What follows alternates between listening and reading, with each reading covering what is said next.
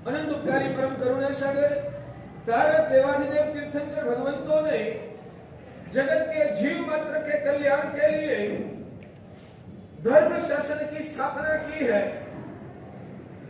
परमात्मा रियल प्रभु की वो विशेषता थी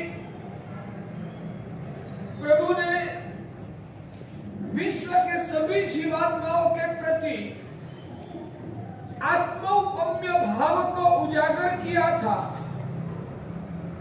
एकेंद्रिय से लेकर पंचेंद्रिय तक निकोद से लेकर अनुत्तर विमानवासी तक, जितने भी संसारी आत्माएँ हैं, सभी जीवात्माएँ अनंत काल से चौरासी लाख योनि में परिभ्रमण कर रहे हैं और संसार की वो परंपरा का मूल कारण ज्ञानी भगवंतों ने दिखाया है और आई जीवे जैन दर्शन मानता है, आत्मा का अस्तित्व अनादि अनंत है। आत्मा अविनाशी है, बौद्ध दर्शन में आत्मा को या तो जगत के सब पदार्थों को बिल्कुल क्षणिक माना जाए अन्य दर्शन में बौद्ध दर्शन में सब पदार्थों को क्षणिक माना गया है। हर पल पदार्थ का विनाश हो जाता है, दूसरी पल उनका कोई अस्तित्व का अंश ही नहीं रहता। मगर प्रैक्टिकल रूप से लिखा जाए तो वो बात दिमाग में नहीं छप रही है। कल भी आप प्रवचन में आए थे। कल भी पुण्यशाली आप प्रवचन में आए थे। आज भी आप प्रवचन में आए हो। कल भी आप प्रवचन में आओगे आप भी आओगे या अन्य कोई आएगा? आप ही आओगे या अन्य कोई आएगा। तो हम ही आने वाले हैं। तो कल सुबह में 10 बजे जिसका अस्तित्व था वो तो विनष्ट हो गया है तो वो तो यहाँ आज कैसे आएगा?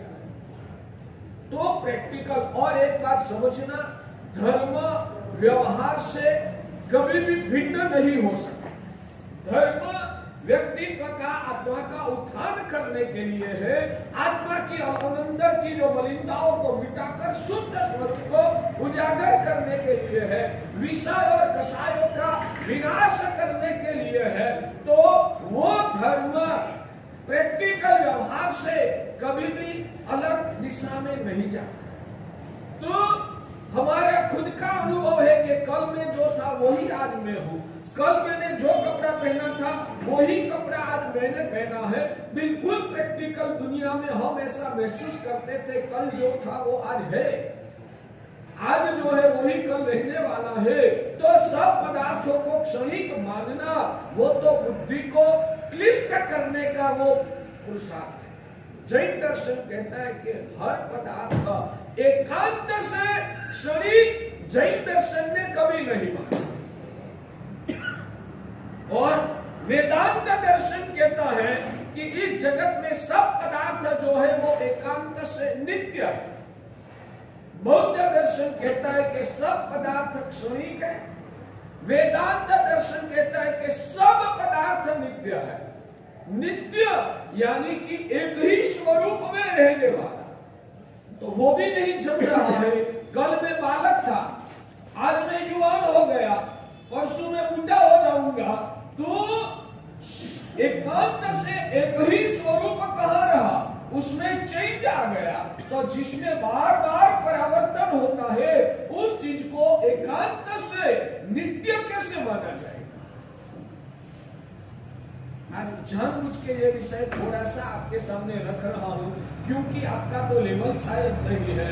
हमारे यहाँ विक्रम जी आए हैं हिमाचल से आए। हैं और वो विक्रम जी हमारे छोटे छोटे साधुओं को तिबेटियन भाषा सिखाने के लिए आए हैं और इतने श्रद्धालु है, रुचिमंत है। प्रवचन सुनने के लिए हर रोज आप शायद लेट आते हो। वो प्रवचन मंगल पाठ शुरू होने से पहले आ जाते हैं और वो विद्वान भी है। तो उनको भी पता चले कि जैन दर्शन की मान्यताएँ क्या है। तो बौद्ध दर्शन कहता है कि सब पदार्थ क्षणिक है, अनित्य है। वेदांत दर्शन कहता है कि सब पदार्थ जो है वो एकांत से नित्य है।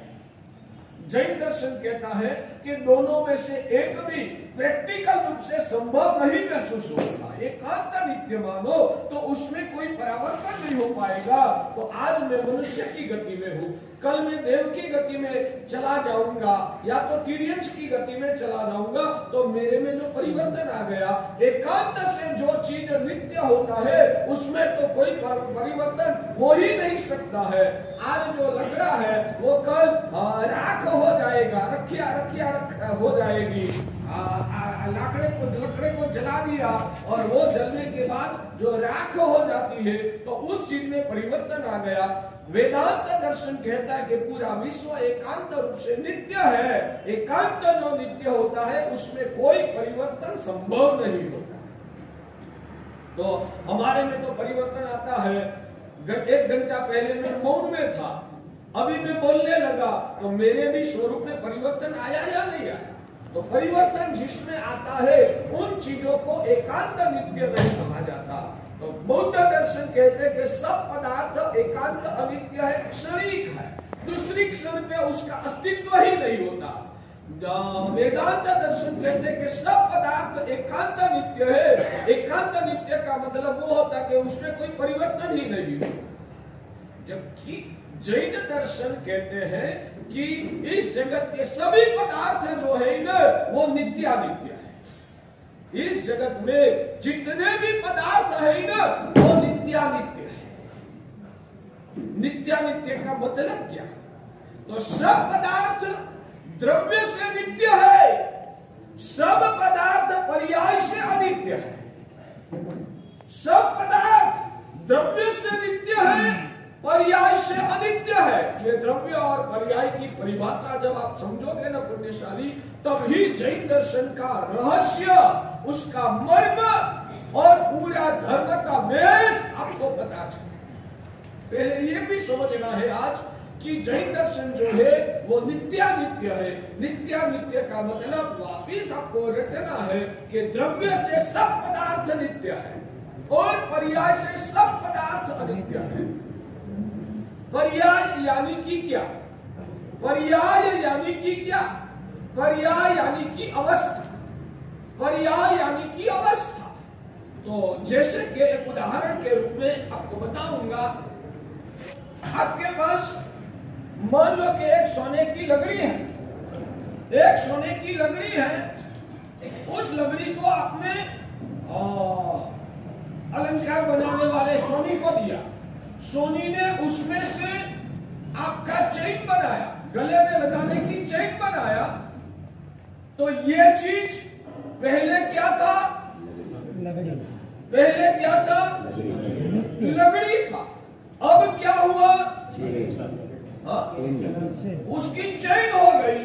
तो पहले तो लगड़ी थी और अभी वो चेन है। दस साल के बाद उस चेन को भी आप गिला दोगे और उसमें से आप टुकड़ा कंकड़ बना दिया।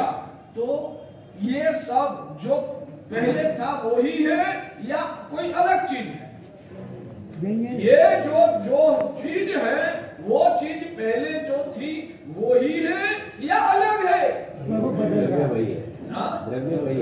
द्रव्य वही है। जो सोना पहले आपके घर के तिजोरी में लकड़ी के रूप में था, जो सोना आपके घर में पहले लकड़ी के सोने की लकड़ी के रूप में था वो ही सोना है।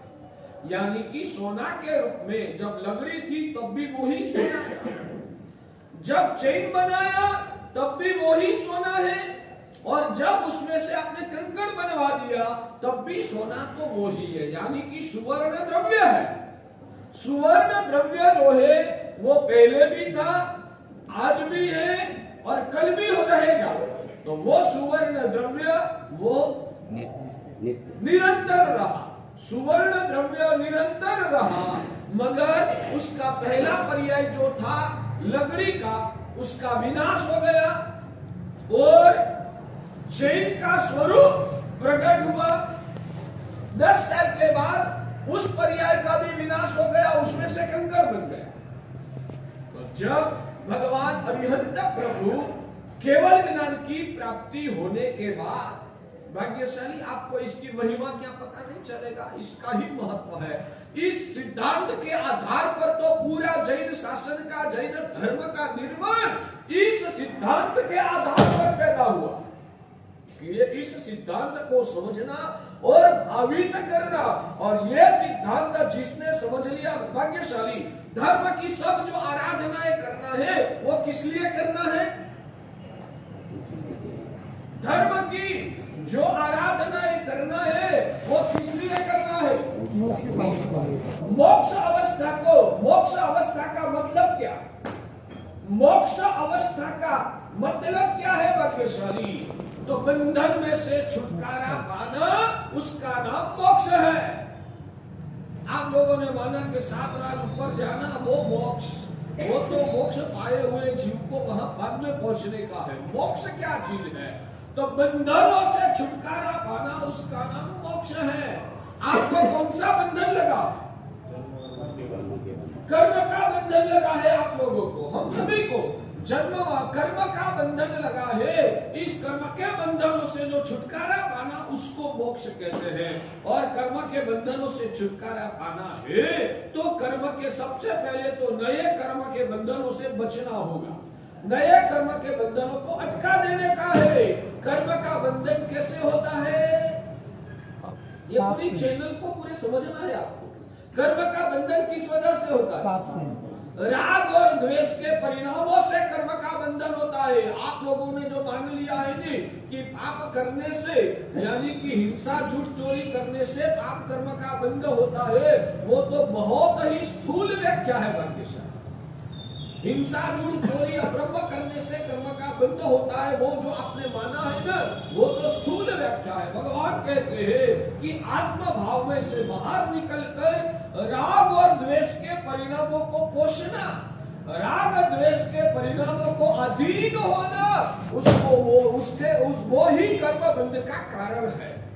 मन में भी आपने राग का परिणाम को पोषा सामने कोई व्यक्ति को देखा और उन व्यक्ति को देखकर अंदर में आसक्ति हुई। आपने कुछ बोला नहीं है, आपने कोई गलत व्यवहार नहीं किया है। मन में सिर्फ़ उनको देखकर राग का परिणाम उजागर हुआ। भगवान कहते कि आपकी आत्मा को कर्म का बंध लग जाता है। खाना खाया, खाने में मज़ा आया। उन चीज़ के पर आसक्ति किया, यानी कि राग का परिणाम को आपने पोषा वो राग का परिणाम पोषते ही आपकी आत्मा को कर्म का बंधन लग जाता है। कपड़ा भी पहना, कपड़ा पहन के कपड़ा अच्छा लगा, मैं कैसा लग रहा हूँ? राग का परिणाम अंदर में उजागर हुआ। भगवान कहते हैं दूसरा कोई भी पाप आप करो या पाप क्रिया न भी करो, आपकी आत्मा को कर्म का बंध लग जाता यहाँ तक आपको समझना पड़ेगा और वहाँ तक जाके आत्मा को अंदर से ऊँचे उठाना तो ही साधना हो सकती और राग है वहाँ ही द्वेष। इसलिए राग द्वेष को खत्म करने से कर्म बंध से बचा जाता है। इसलिए हमारे भगवान, उन्होंने राग द्वेष को खत्म किया। इसलिए हमारे परमात्मा का शास्त्र में व्यापक स्वरूप से जो विशेषण दिया है कि हमारे भगवान विकराग भगवान। हमारे भगवान जो है, वो वितराग भगवान है। वो खुद वितराग बने हैं और हमको वितराग बनने का उपदेश दिया है। आज तक आप लोगों ने उतना ही मान लिया है कि आईवी करेंगे तो कल्याण होगा। दो पाँच लाख रुपए का दान कर देंगे तो कल्याण होगा। जिनालय का निर्माण कर देंगे या छवि वाली संघ निकाल देंगे या मासक समय या वसी तक कर लेंगे तो कल्याण हो जाएगा। भगवान कहते कि जब तक अंदर के परिणामों की शुद्धि नहीं हुई है मोह का जहर नहीं पिघला है।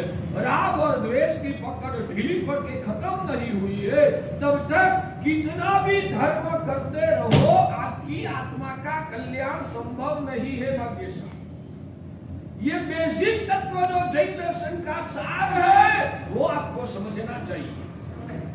तो भगवान स्वयं वितराग बने हैं। परमात्मा स्वयं वितराग बने हैं और जगत के भव्य जीवात्माओं को भी उन्होंने वितराग बनने का ही उपदेश दिया ये भगवान का उपदेश का जो रहस्य है अंतरंग जो सत्व है, वो तो हम याद भी करने का भूल गए हैं। बस हम भी उपवास करो।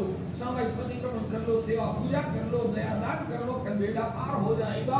वो आपकी भ्रमणा है, वो तो प्राथमिक स्तर का कहो या सपाटी के स्तर का ये धर्म है, प्राथमिक धर्म का प्राण तो ये है कि अंतर आत्मा की हमें शुद्धि करना है वितराग दशा को उजागर करना है, राग और द्वेष के परिणामों को अंदर में से विलीन करना है। इसलिए परमात्मा ने जो चाहा कि जगत के जीव मात्र को बचाना है। बचाने के लिए प्रभु ने कौन सा तरीका अपनाया? जगत के जीवों को आत्मा की पहचान करवाकर, आत्मा की शुद्धि करने का उपदेश भगवान ने दिया है। जगत के जीवों को सुखी करने के लिए गरीब को पैसा दे दिया। आप लोग का धर्म का लेवल इतना सीमित हो गया है। आप लोगों ने इतना ही मान लिया है। भूखा को भोजन खिला दो। गरीब को पैसा दिला दो, बीमार को दवाइयाँ दिला दो, जिनके पास घर नहीं है उनको घर दिला दो, बीमार को फ्रूट खिला दो, भिखारी को कंबल उड़ा दो, भौतिक जगत में जो दुखी है उनको सहाय करो। वो श्रेष्ठ धर्म है। है ना? सामयिक करने से क्या फ़ायदा? किसको क्या फ़ायदा? होगा ये श्रेष्ठ धर्म तो ये है कि दुखी की दया करना। हाँ, वो सबसे श्रेष्ठ धर्म है ना। बोलो ना। हाँ। आप लोगों को वही लगता है उसका कारण ये है कि धर्म का धर्म को आपने समझा भगवान कहते ये श्रेष्ठ धर्म नहीं है वो प्राथमिक धर्म है। पहले नंबर का धर्म है उसमें मना नहीं करता हूँ। मगर वो श्रेष्ठ धर्म नहीं है। वो दुखी हुआ। क्यों दुखी हुआ? वो गरीब क्यों है? वो बीमार क्यों पड़ा? वो दुखी किस कारण से है? अंदर से आत्मा पाप कर्म से भारी है। अंदर से जीव जीव, राग, द्वेष और कसाय करके पाप कर्म का उपार्जन करके उन पापों की शिक्षा के रूप में वो दुखी हुआ है तो वो दुखी ही नहीं होना चाहिए। तो उनकी आत्मा की अंदर की स्थिति को निर्मल बनाओ और अनंत काल में वापिस उनको कभी दुख आए ही नहीं। वैसी अवस्था तक पूछे उठा दो और श्रेष्ठ पर उपकार समझ में आता है?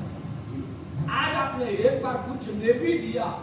और मैं तो वहाँ तक के सौभाग्यशाली भौतिक रूप से किया हुआ उपकार भी जो उनका पुण्य अनुकूल नहीं है ना तो आपने किया हुआ उपकार ही उनके लिए दुखदायी पुरवार हो सकता है। थोड़े दब जाइए, दरवाजे तक पब्लिक आ गई है आप दबिए दबिए अपने सर यहाँ भी दबिए यहाँ भी दबिए।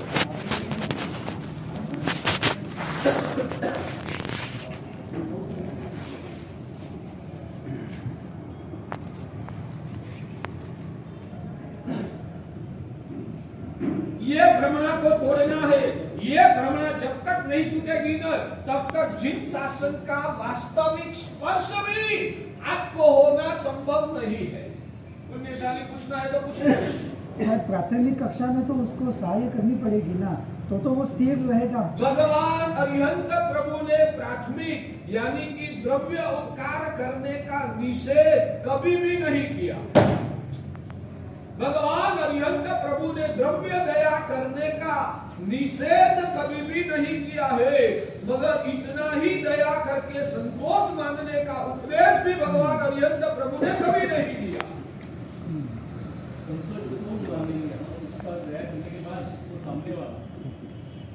दोनों गलत है, दोनों अज्ञानी है, दोनों मिथ्यात्व में फंसे हुए हैं। इस धर्म को श्रेष्ठ धर्म का दर्जा देना न, वो भी अंदर में छाया हुआ मिथ्यात्व का परिणाम। उसका मतलब दुखी को मदद नहीं करना, वैसा मेरा कहने का भाव नहीं है। मेरा कहने का भाव यह है कि सिर्फ़ दुखी को मदद करके अटकना नहीं है। वो दुखी क्यों हो रहा है? और अनंत काल में वापिस कभी दुखी नहीं होना चाहिए। वो चिंता करके, उस अवस्था तक उनको ऊँचे उठाने का पुरुषार्थ करना में उसको सम्यक दर्शन कहा जाता है। वो दुखी क्यों हो रहा है? खुद के कर्मों की वजह से कर्म का बंधन कैसे हुआ? अंदर का मोह, माया का परिणामों की वजह से। तो भगवान अरिहंत प्रभु और प्रभु के शासन के साथ उन व्यक्तियों को, जीवात्मा को जुड़वाकर उनको आत्मा की पहचान करवाइए और आत्मा का पवित्र स्वरूप की प्राप्ति का उपाय दिखा के उनको ऐसी अवस्था तक ऊँचे उठा लो कि अनंत काल में उन आत्मा को कभी वापिस दुखी होना ही न पड़े। वैसी अवस्था दिलाना वो भाव उपकार है और वो ही श्रेष्ठ उपकार है। वैसी समझदारी वो सम्यक वो सम्यक है भाग्यशाली जमता है आज का हमारा समाज अज्ञानता की वजह से मिथ्यात्व में फंसा हुआ है। और संकुचित मनोवृत्तिया में उन्होंने श्रेष्ठ धर्म का दर्जा मान लिया है। वहाँ तक भी ठीक है, दूसरे का लोगों को भी दिमाग को भ्रमित करके ये नहीं, वो श्रेष्ठ है वैसा स्टेटमेंट देकर वो मिथ्यात्व का पोषण करता है भाग्यशाली। समझ में नहीं आता है तो पूछना। मगर ये प्रवचन अंदर का अज्ञान का कचरा को मिटाने के लिए है। जमता है मेरी बात? जी वो जीव हाँ कोई भी दुखी जीव का दुख हम नहीं देख सकते। हैं उन जीवों का दुख को हमें निष्ठुर भाव से नहीं देखना है। यथाशक्य हो सके, भगवान की आज्ञा से विपरीत नहीं है, उसका कोई गलत परिणाम आने वाला नहीं है तो दया भी करो। उसमें भी हमारा विरोध नहीं है, मगर उसको श्रेष्ठता का दर्जा जो आपने अज्ञानता से दे दिया है ना, वह मेरा है। जमता है?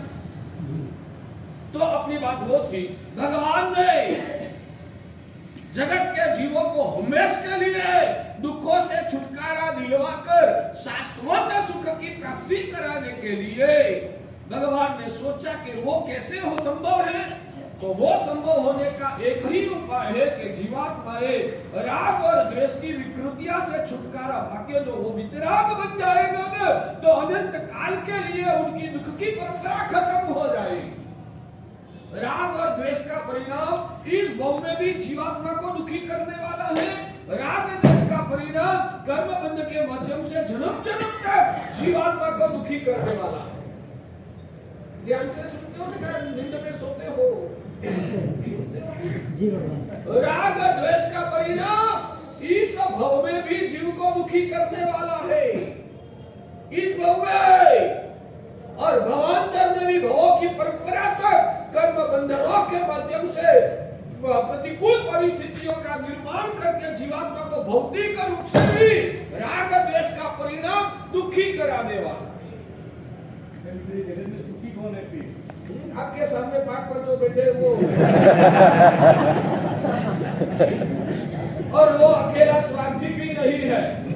वो तो सुखी बहुत सारे परिवारों में सुखी बने हैं। और उनके सामने जो जो बैठे हैं उन सभी को भी ऐसा ही सुखी बनाने का मनोरथ लेकर बैठा। मगर जिनको सुखी बनना ही नहीं है तो उनको कैसे बना चलिए भाग्यशाली, ये सिद्धांत को रटो कि राग द्वेष का परिणाम जितना प्रबल उतना व्यक्ति तत्काल दुखी। उतना व्यक्ति तत्काल दुखी। राग द्वेष का परिणाम ही अंदर में संकलेश की परिणति को पैदा करता है। राग द्वेष का परिणाम ही व्यक्ति को मन से डिस्ट्रैक्ट करता है। बोलो दोबारा तीसरी बार बोलो।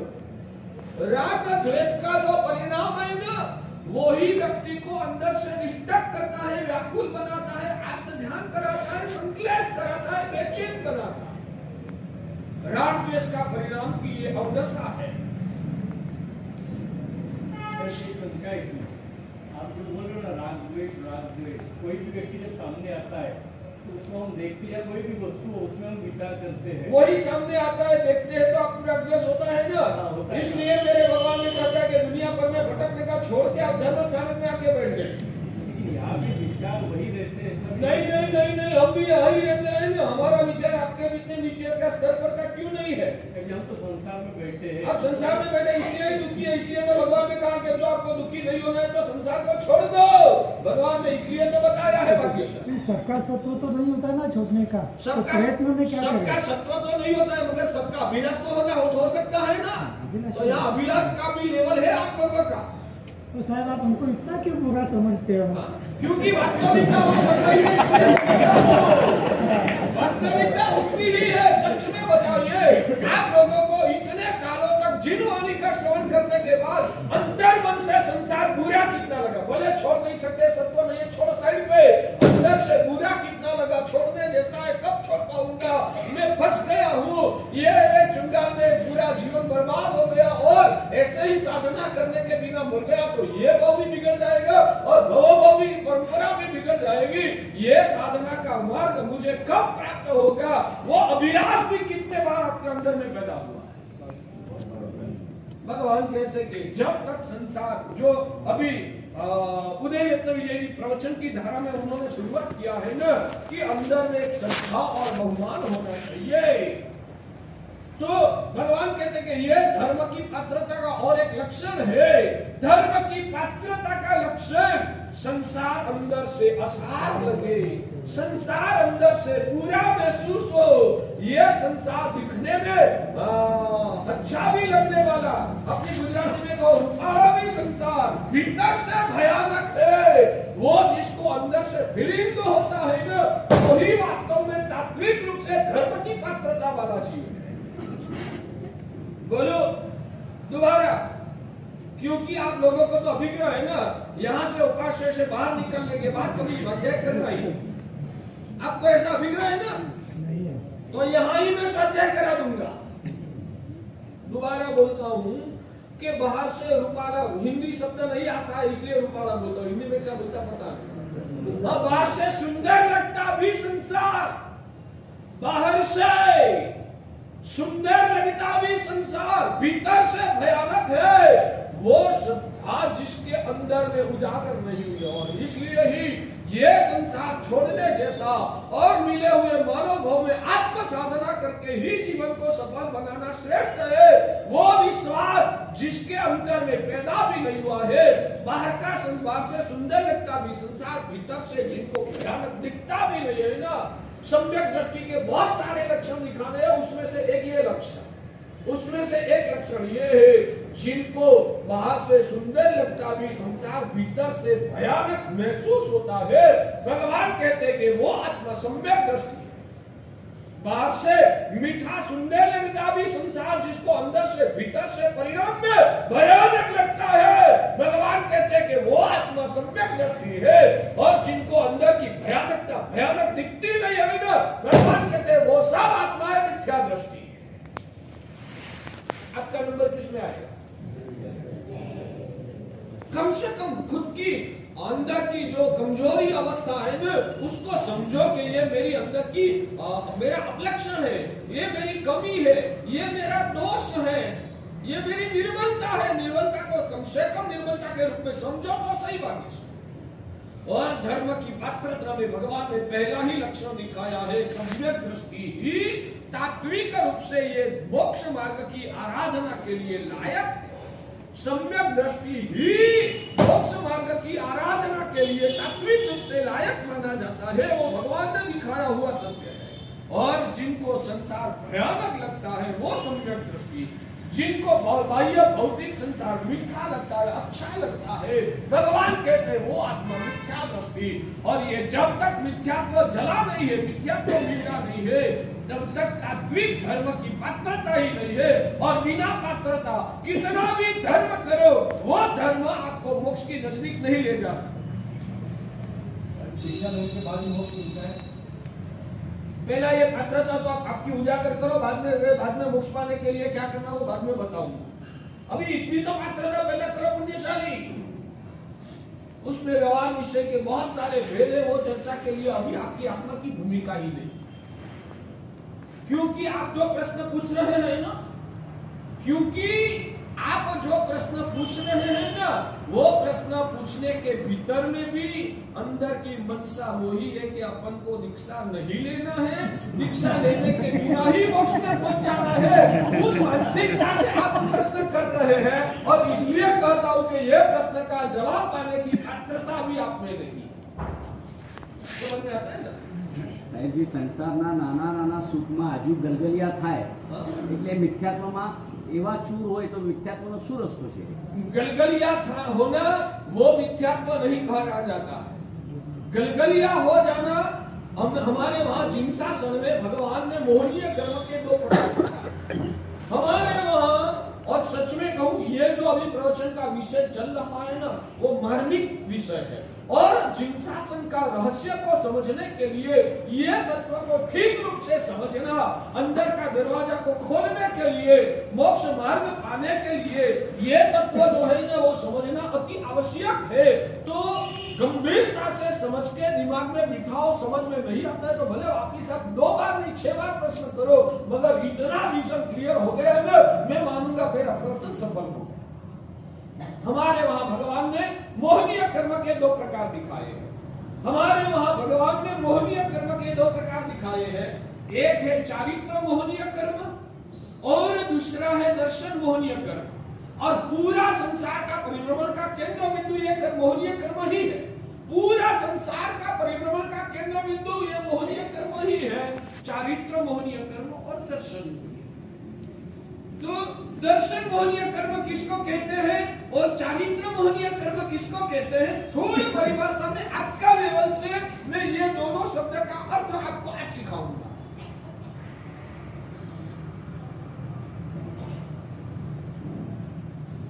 उसमें कोई हिंदी शब्द मुझे नहीं आएगा तो मुझे गुजराती का यूज़ करना पड़ेगा।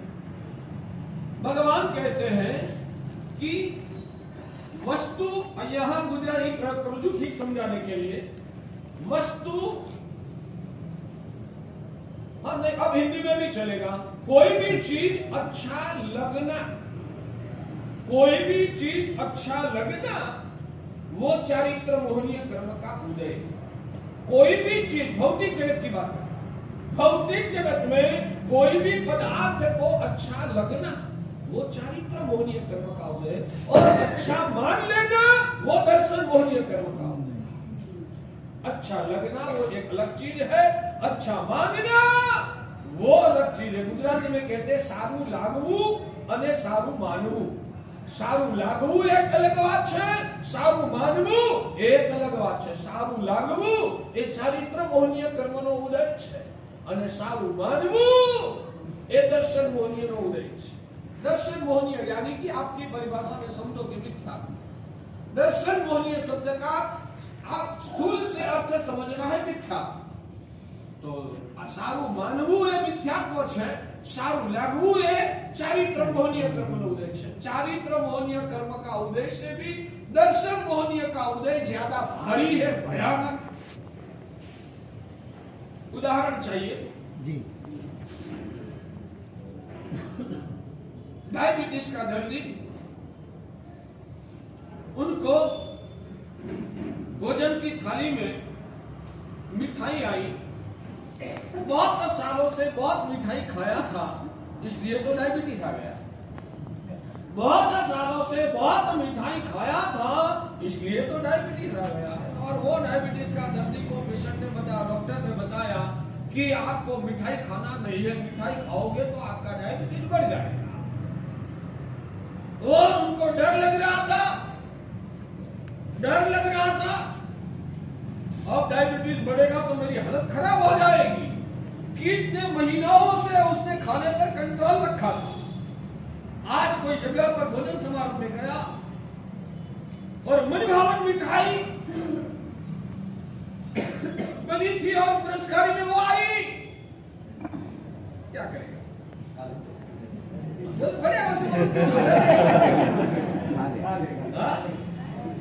खा लेगा मगर आज तो एक ही आइटम खाएगा। ना खा लेगा तो सही आज तो खाली भर के जितनी भूख है उतना वही मिठाई खाना और कुछ टच भी नहीं करेगा ना।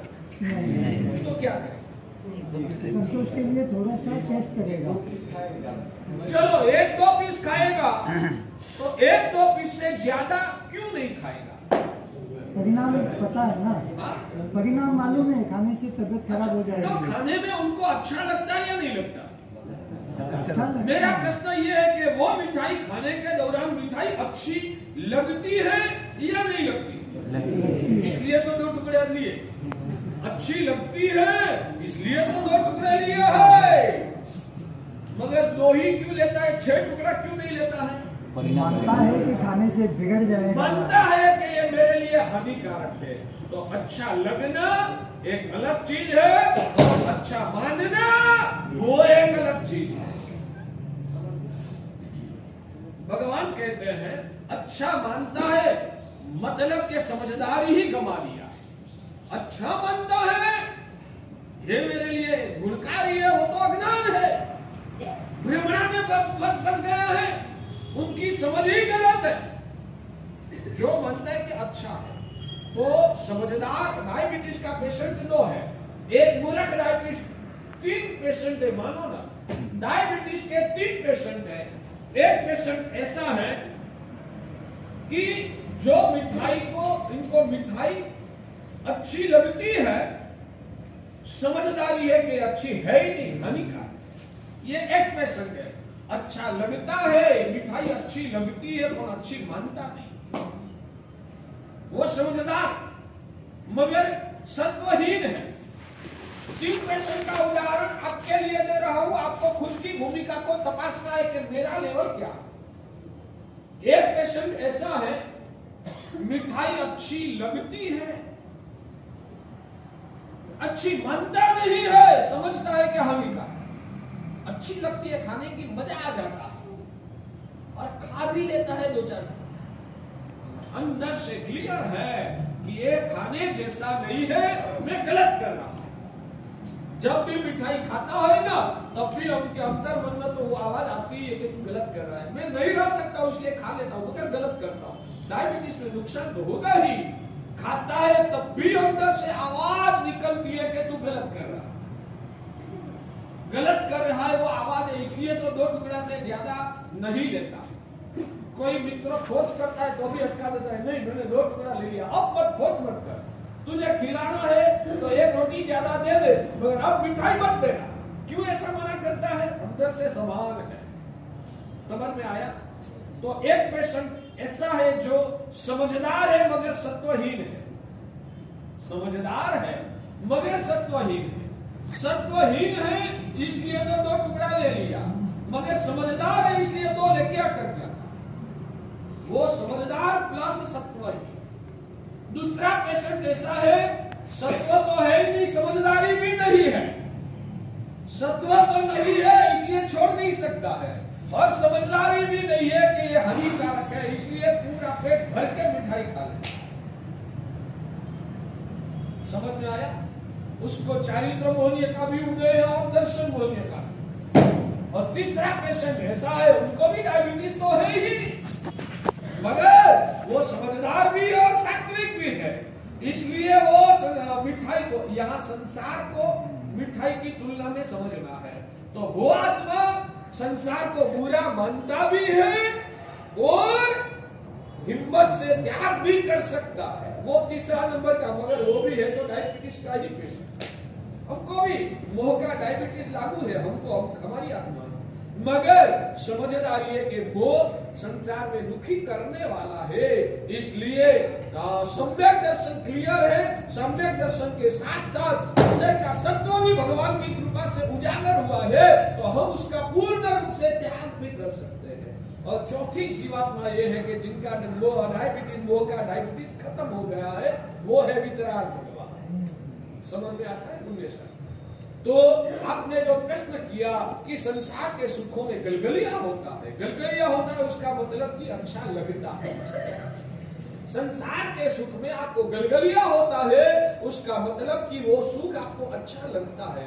अच्छा लगता है, फिर भी अंदर से आवाज़ आती है कि अच्छा नहीं है, हानिकारक ऐसी समझदारी जो जीवन यानी कि संसार के सुख अच्छे लगते हैं मगर अंतर मन से आप अच्छे मानते नहीं हो तो भगवान कहते हैं कि आपका सम्यक दर्शन ज़िंदा है।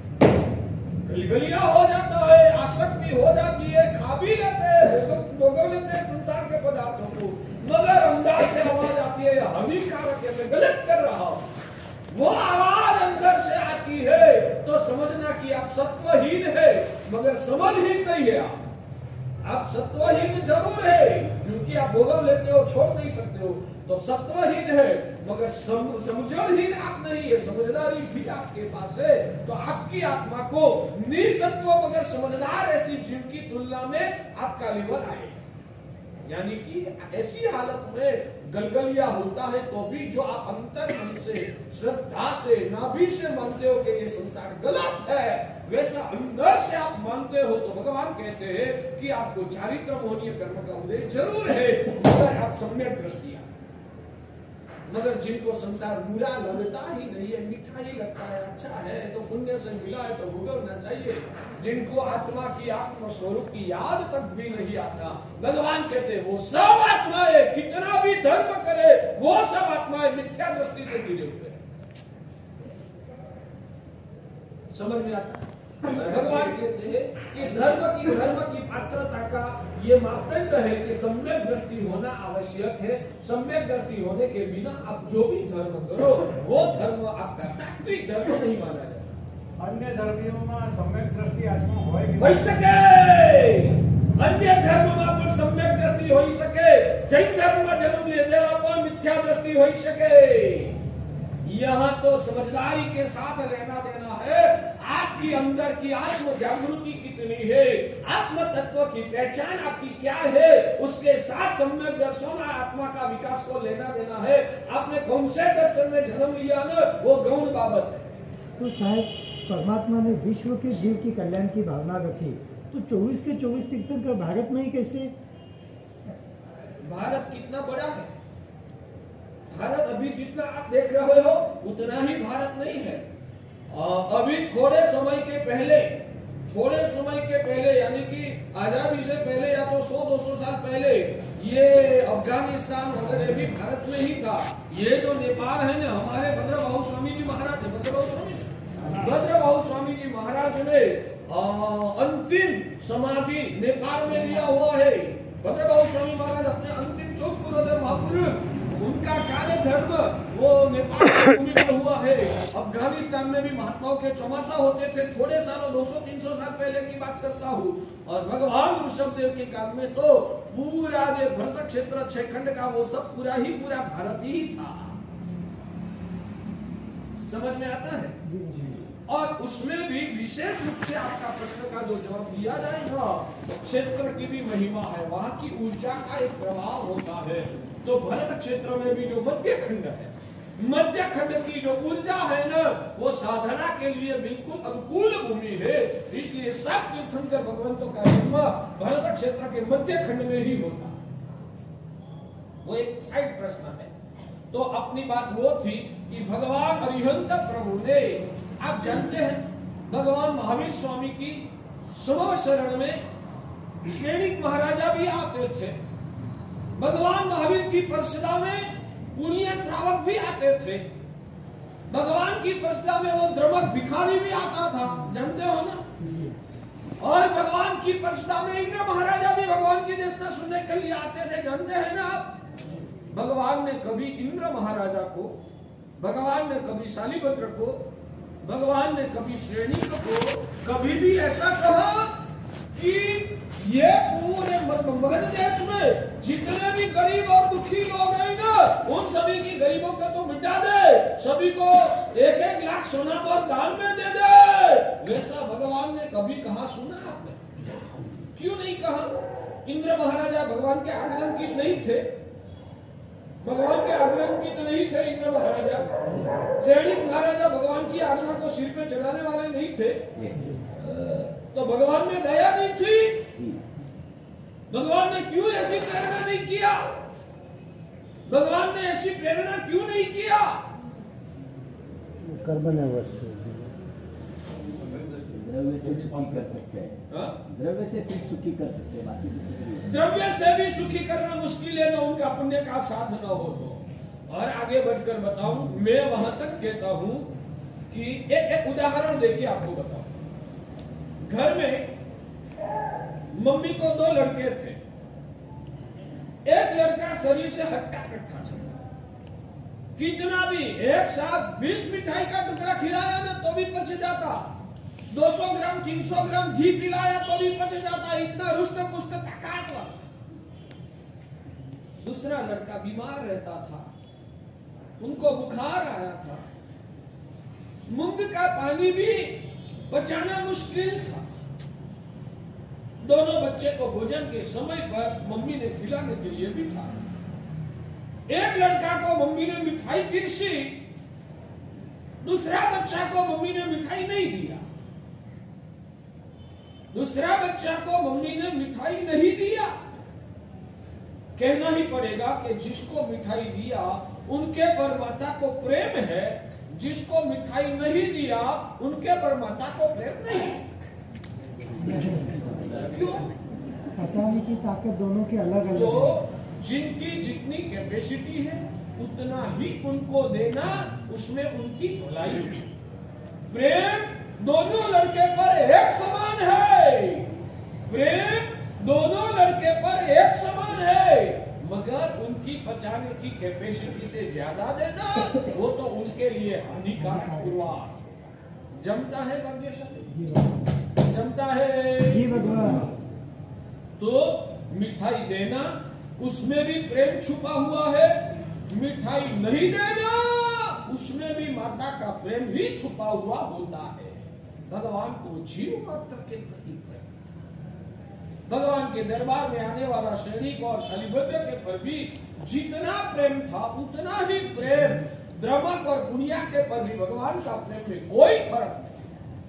मगर भगवान को पता था, ये द्रमक या पुनियो ऐसा कर्म लेके आया है और ऐसी कर्म वाली हालत रोगिष्ट हालत में मिठाई देना, वो भी नुकसान कारक गुरुआ होता है। रोगी रुग्ण दशा में मिठाई देना, वो भी हानिकारक पुरवार होता है वैसे उनका पुण्य से ज़्यादा दिलाना ना वो भी उनकी आत्मा को संसार में दुखी करने वाला पुरवार हो जाएगा।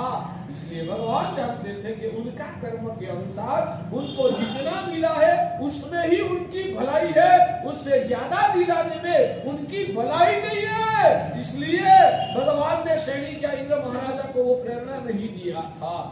तो धर्म का नाम विवेक है? बिल्कुल। पक्का सर्वत्र विवेक व्यापक छाया हुआ है ना? तो उसमें आपको प्रॉब्लम क्या हुआ। आपको क्या प्रॉब्लम पैदा हुआ बताइए ना? गरीब के प्रति हम दया करने जा रहे लेकिन ये तपास करेंगे कि भाई उसका दया के साथ विवेक होना सर्वत्र ज़रूरी है।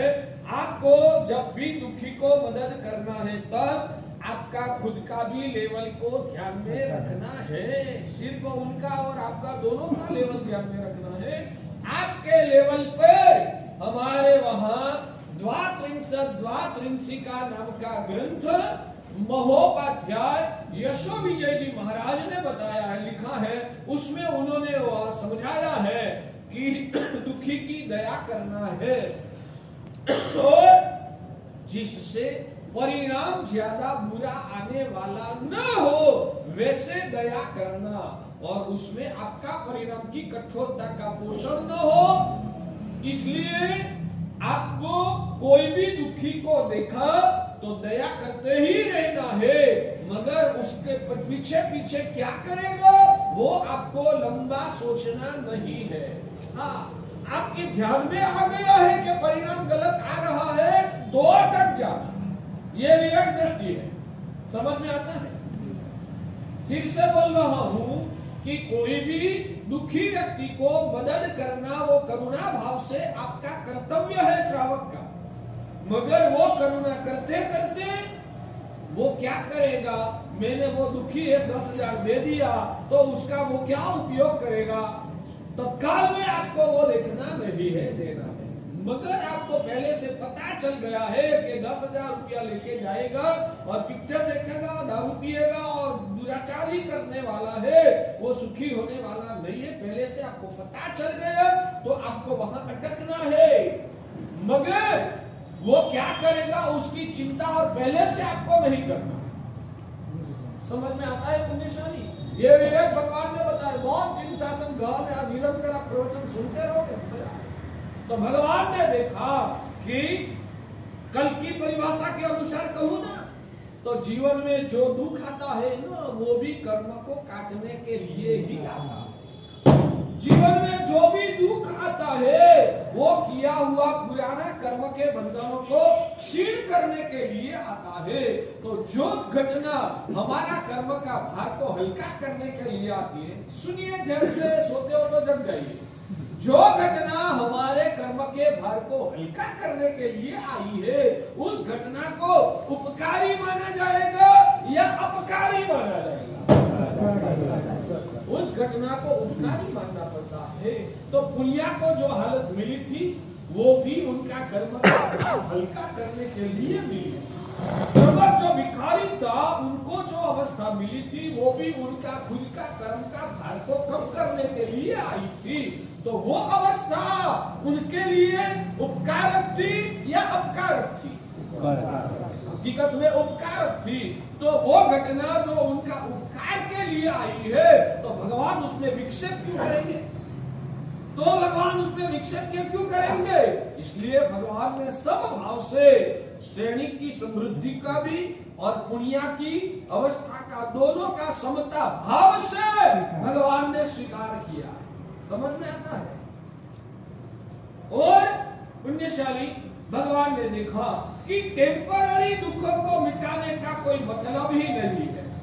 ये जिन शासन का भीतरी रहस्य को आप समझिए टेम्पररी कोई भी दुख की हालत को अटकाना, वो लंबी समझदारी नहीं है। परमानेंट दुखों से छुटकारा मिल जाए, वैसा उपाय अजमाना, वो समझदारी समझ में इसलिए भगवान ने देखा कि अभी टेम्पररी पुनिया की या भिखारी की गरीबी को मिटा भी देंगे, कब तक चले वो कोई परमानेंट उपाय नहीं।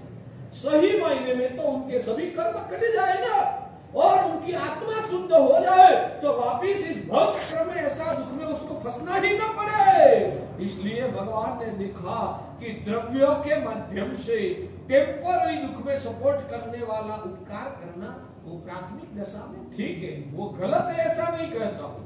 वो गलत है वैसा मैं नहीं कहता हूँ। मगर वो प्राथमिक लेवल का उपकार है और टेम्पररी है, उसमें आपका दया करुणा का परिणाम टिके उतने पैमाने में वो अच्छी बात है। मगर वो परमानेंट इलाज नहीं है। परमानेंट इलाज तो वो ही है कि उनको संसार के चक्कर में से छुटकारा दिलवाना तो ऐसी दुखों की परंपरा का अनंत भव चक्र में कभी वापिस स्पर्श भी नहीं होगा इसलिए भगवान ने सोचा कि इन जीवों को दुख मुक्त बनाना है तो क्या करना पड़ेगा? तो जैसे मैंने वितराग दशा को अंदर से उजागर कर दिया है न, वैसे जगत के सभी जीवात्माओं को भी वितराग बनाना, वो ही दुखों के चक्कर में से छुटकारा पाने का सही इलाज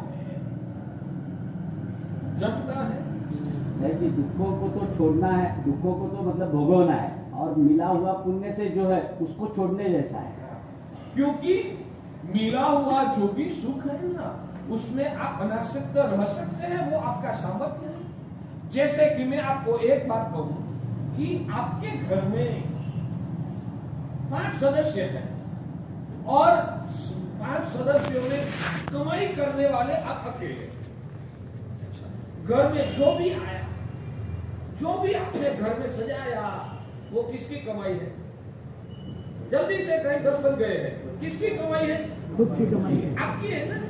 अच्छा साविका ने घर में मिठाई बनाया। कमाई किसकी? या तो उन्होंने भी मेहनत नहीं किया बाज़ार में से खरीद करके मिठाई के पैकेट लेके आए। किसकी कमाई का है? किसकी मेहनत का है? तो आप कितना खाओगे? खाओगे कितना ऐसा पूछ रहा हूँ। आप पंद्रह किलो मिठाई लाए हैं उसमें से आप कितना खाओगे? सौ ग्राम। डेढ़ सौ ग्राम। हाँ हाँ डायबिटीज़ है तो उतना भी नहीं सही बात है। तो मेरा प्रश्न ये है कि आपकी पुण्यशाली ध्यान से सुनिए आपकी कमाई है आपका नसीब है और आपकी ही मेहनत। नसीब भी आपका और मेहनत भी आपकी। आपने ही कमाया है और बाज़ार में से पंद्रह किलो मिठाई आप ही लाए हैं। उसमें से आप क्यों सौ ग्राम से ज़्यादा क्यों नहीं खाते हो? या तो डायबिटीज़ है तो आप एक टुकड़ा भी क्यों नहीं खाते हो? भले मेरा है, मगर वो खाने से मुझे जो हजम नहीं होता, मेरा स्वास्थ्य बिगड़ता है तो मेरी कमाई का भी मुझे नहीं खाना चाहिए। ठीक है सिद्धांत? यह सिद्धांत को समझो। मेरा नसीब और मेरी मेहनत से कमाया हुआ मैंने खुद ने लाया भी। जो मुझे पचता नहीं है तो मुझे नहीं खाना चाहिए। ये सिद्धांत आपको जमेगा भगवान वही कह रहे हैं कि भले आपके पुण्य से भौतिक सुख समृद्धियाँ मिली हो मगर आपको जो राग द्वेष अंदर में हो जाता है ना तो समझना कि वो सुख आपको पच नहीं रहा है। और जो आपको नहीं पचता है वो नहीं खाना चाहिए। जो आपकी आत्मा को हजम नहीं होता है, वो नहीं भोगवना चाहिए तो पूरा सिद्धांत आपकी दुनिया में से ही हमको मालूम होता है। जमता है पुण्यशाली हाँ? ऐसा कुछ नहीं। पुण्य भोगवना भी ज़रूरी नहीं है।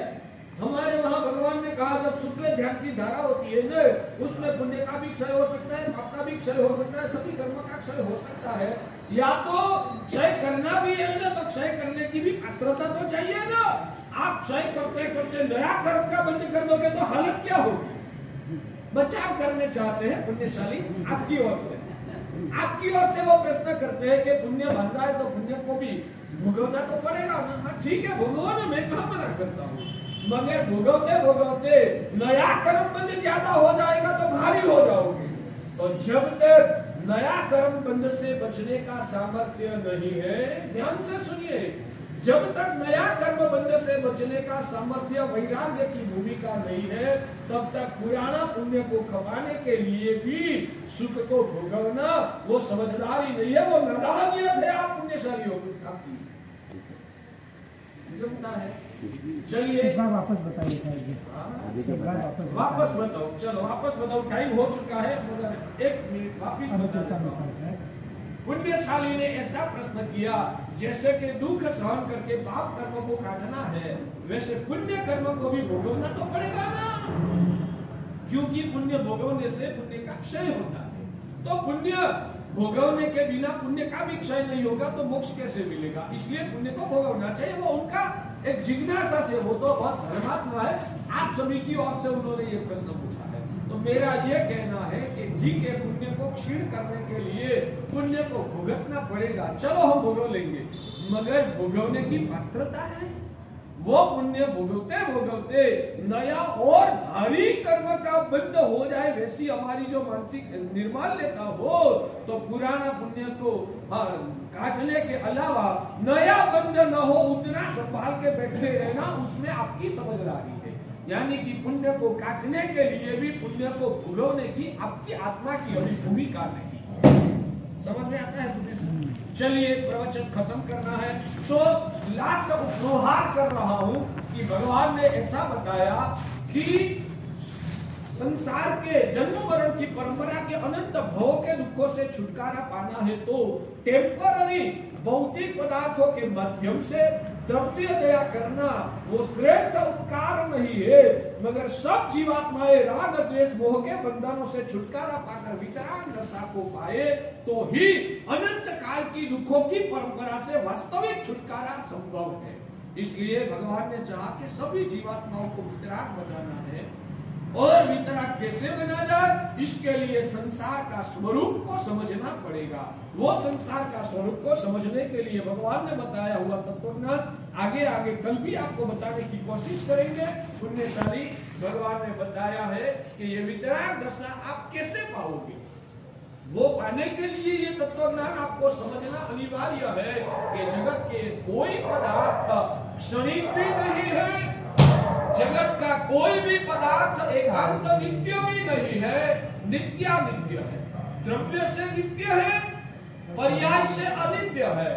जो सोने की चिंग का उदाहरण दिया था वापिस ज़रूर रहेगी तो कल के प्रवचन में उसको थोड़ा और एमलात करके समझने की कोशिश करेंगे।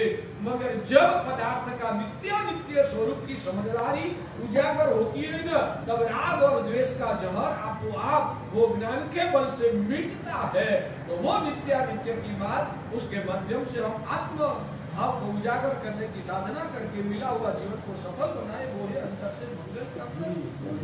धन्यवाद